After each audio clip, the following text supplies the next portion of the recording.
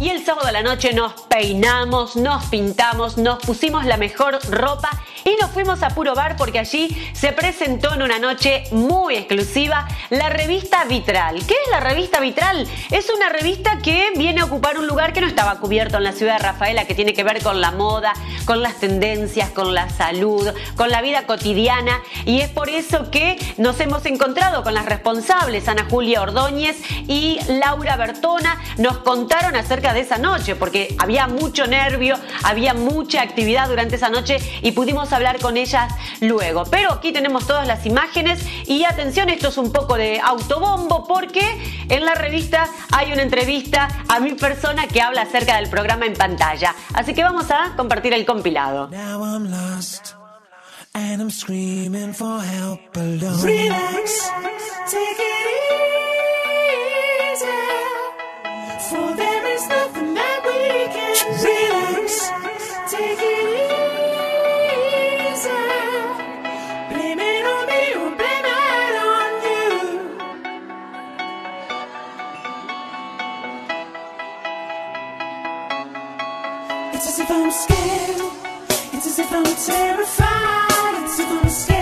Bueno, apostando a un nuevo emprendimiento, ¿cómo surgió esta idea?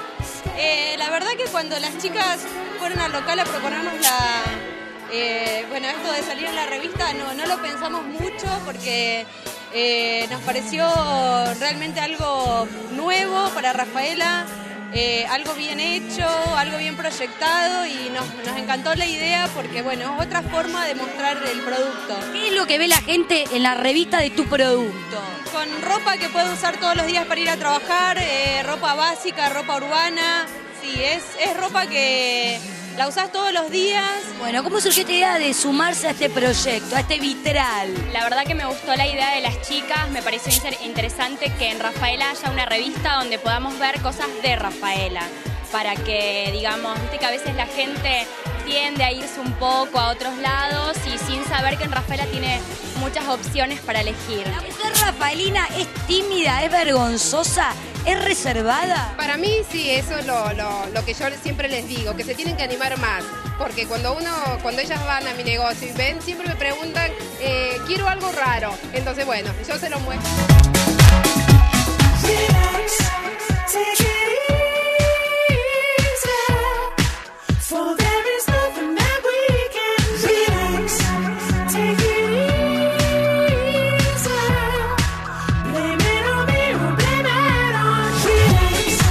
Cubrieron las, las expectativas el sábado a la noche.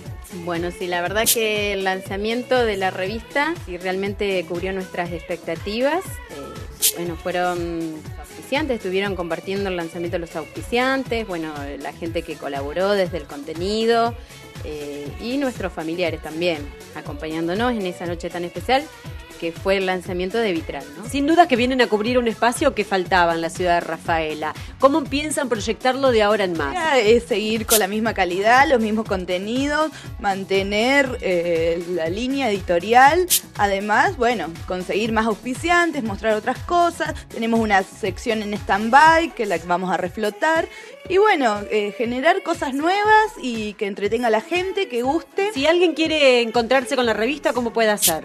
A través de un correo electrónico, revistavitral.gmail.com. Eh, ¿Va a ser exclusivamente para la mujer? No, en realidad cuando pensamos el contenido queríamos buscarle una vuelta más y por eso incorporamos también al hombre. Así que eh, tanto en lo que es moda, belleza, salud y ocio, que son los contenidos fundamentales de los que se estructura la revista, está contemplado el hombre.